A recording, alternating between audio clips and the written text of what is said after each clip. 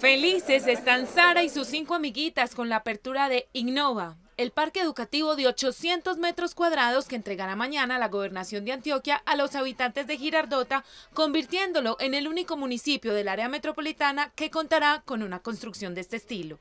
Con la apertura de este parque educativo, eh, será de mucho beneficio para nosotras, pues tendremos lugar donde eh, realizar nuestros robots o donde reunirnos. Desde mañana, la pasión que comparten ella y sus amigas por la robótica tendrá su espacio propio, pues uno de los cinco salones que tendrá Innova será el de apropiación digital. Estamos innovando, estamos involucrando la tecnología, la ciencia, estamos metiendo a los chicos en, en este tema de tecnología. Girardota se ha destacado entre los demás municipios del Valle de Aburrá por sus proyectos innovadores. De ahí surge entonces el nombre con el cual será bautizado este parque educativo. Un centro de congregación, de unión, donde la comunidad se junta en torno a diferentes actividades y esto permite la solidaridad. Innova estará abierto al público de lunes a viernes entre las 7 de la mañana y las 8 de la noche y los sábados desde las 7 y hasta las 2 de la tarde.